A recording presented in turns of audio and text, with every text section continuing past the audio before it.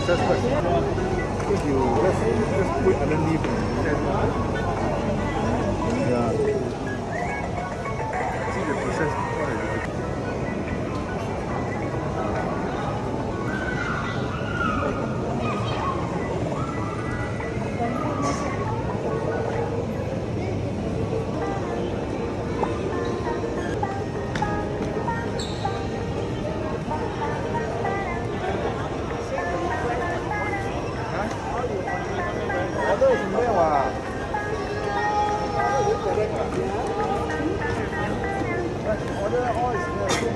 Gracias.